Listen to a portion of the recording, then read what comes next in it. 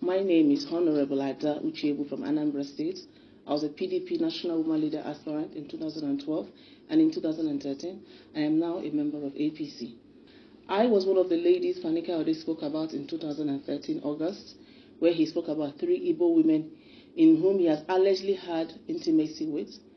The first person he mentioned was Ambassador Bianca Odumegwu Ojukwu, I, Honorable Adobe Uchebu, and another lady, Chioma Anaso. As at that time, I didn't feel the need to talk about this because I knew it was a drug stalking. I was calm because I felt it would all go away and he's a man not to be taken serious. I am talking now because I can see he is now becoming like an, an oncoming um, trailer who has lost control. And he's a danger to Nigeria, he's a danger to his family, he's a danger to himself. And the sooner Nigerians stop listening to him, the better for us. The reason why I'm speaking now is because Fani Kayode has turned himself into an enemy of the Nigerian state. The Fani Kayode that I know is a man of unstable character. This is a man whom I knew as a boss in 2002, 2003, 2004, 2006. The Fani Kayode that I know is a very serial and serious pedophile. He has no scruples in sleeping with a woman of 15, 16, 17. I remember when we were working as um, SA to the president, as at that time of Obasanjo, on media, he would always go to Sheraton at night to pick girls that wear all these house dresses, buka, and he always picked the ones that were of very young age. And I always wondered, why is Oga behaving like this? I remember also in 2005, 2006, while we were living with Madame Jumoke Akinjide, and um, she was then the SA to Obasanjo on Abuja matters. And then the house girl to Akino Shutoku used to come and visit Fani Kayode, and she was no more than 16, 17 years. Unfortunately, she got pregnant for him, and then he denied the pregnancy. This is a man who must smoke weed. This is a man who must take a large or maybe a quantity of cocaine in the morning, in the afternoon, at night, in the office. And when I talk about it, he tells me this is what keeps him sane. This is a man I know that has a long and long track record of domestic violence. This is a man that has no scruples in hitting a woman. He has hit me before. He has hit many many number of girls whom I have seen him with. This is a man that can just come out of his car and start fighting on the road. This is a man I know who has a very unique and unfortunate sexual experience. There was an instance when I flew in from Abuja, from Lagos to Abuja to attend a meeting with um, Chief Fani Kayode, and I walked into his hotel room in Brutia, in, uh, in. And there he was fighting with three girls in his hotel room. He even had to call the police. By the end of the day, he decided not to because he knew his name was at stake. The girls were raving mad. They accused him of all sort of things. They accused him that he wanted to film them have, making love to him. They accused him that he, he wanted them to make love to themselves. They accused him of so many things, and I was deeply ashamed of my boss at that time. I have seen a situation where Femi Fani Kayode will come down from his taxi or from his car and physically fight taxi drivers, physically fight hawkers on the street, physically fight people. I have also had a first-hand knowledge of his beatings. He had uh, one, more than one occasion given me a slap here and there because he said I'm always advising him too much. I know of certain that he beats his wife. I know of certain that this is a man that loves his children, especially his daughters, to, to the extent that I suspect would have led him to have sexual relations with them because at that time he was also agitated about his children. He was always saying he never wanted his children to have a boyfriend. He can't just imagine his girls having boyfriends and husbands. And I think if that behavior has not been checked then, it could lead to a full-blown incest. Whenever I come into the office in the mornings, Chief Kelde is always bent over with a plate of white substances, which I suspected to be cocaine. And at, he's always smoking that as soon as a, a guy comes in. And um, Chifanika never lets us to know who this guy is.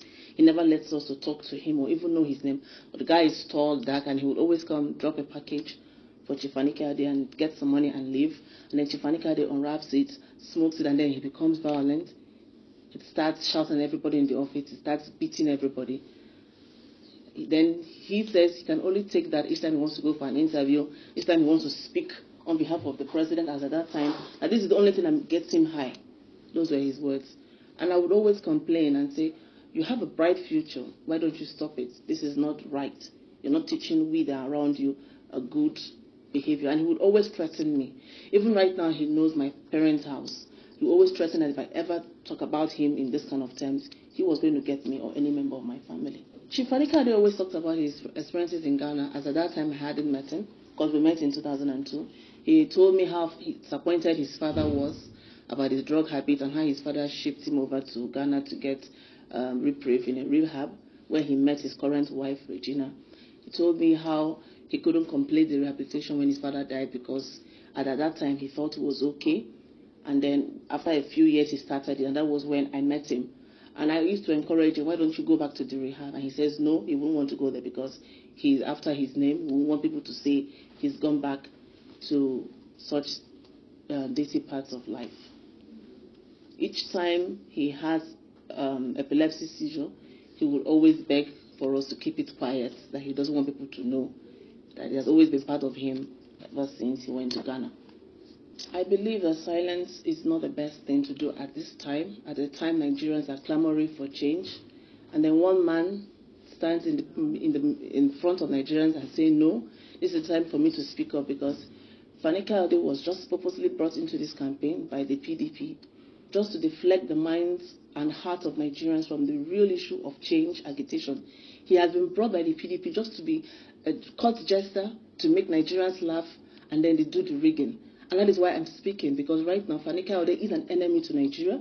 He's an enemy to the Igbos especially because if the president of this nation and PDP could make a character as Fani Kayode, director of media and publicity, a man who said he had slept with our revered leader, his wife, Bianca, then I think Igbo should not give one vote to PDP. And if any Igbo should do that, then that means they are spitting at the grave of our revered leader, Chief Odumegwu Ojukwu. We Igbos are known to protect our wives, and for the fact that Chief Ojukwu is with us in spirit and a character as Fani Kayode spoke ill of his wife, that should make Igbos say no to PDP and embrace change. While working for Chief Fani Kayode, I have seen him have a lot of uh, carry a lot of cash in um, from briefcases, a lot of, in these kind of um, boxes, and he will give it to any of his aides to carry to the airport even when he's traveling abroad. Even here in Nigeria, he takes a lot of cash to the bank to put in his account. So I believe that has formed part of what is the remaining two count charges at the court, which I believe the prosecution has enough to nail him this time around. Chief Fani Kayode is merely in PDP to save his neck. He doesn't want to go to jail. And above all, he, I believe, is working for PDP because of what he can get now. The Fani Kayode I know is a man who lives a very luxurious life, who can spend large sums of money in a day. There is, he doesn't have this, he is prone to financial recklessness, he's prone to financial misappropriation, and he can only get that under the cover of PDP. And I have to speak now because he has constituted himself into a nuisance. Instead of him to do the work he's supposed to do, as in selling the bad product, who is which is PDP and Jonathan. He's delving into personal matters of our esteemed leaders in APC. And that is why I'm speaking now, so that Nigerians will not take him serious any longer. He has a long history of illegal drug abuse. He has a long history of repressed sexual behavior. He has a long history of sexual pedophilia and all that. And that is my submission as someone who was close to him as at that time. I am Honorable Ada Uchebo, and I am not coerced to say this. I have said this in the interest and love that I have for Nigeria. Thank you very much.